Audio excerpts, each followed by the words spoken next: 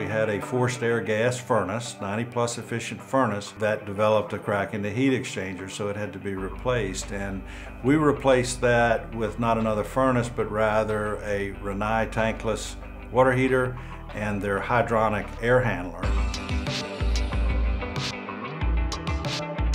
I was hoping to use this uh, as a case study so we could determine whether as a company, as, as an industry, that we could uh, promote this type of technology.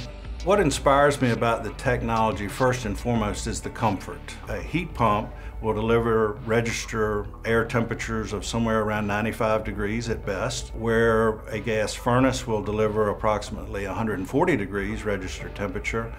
And in consulting with Rinnai, they, um, they felt that I'd realize approximately 130 degrees register temperature.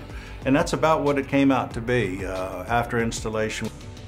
Another benefit to the tankless hydronic system that I've, that I've got from Rinnai is, is space savings. Approximately 200 cubic feet of, of space uh, was saved in my situation, so that same 200 cubic feet could be used in new construction to add a closet or simply reduce the size of the, the structure with, with building materials escalating like they are. It could save some, some money in, in new construction.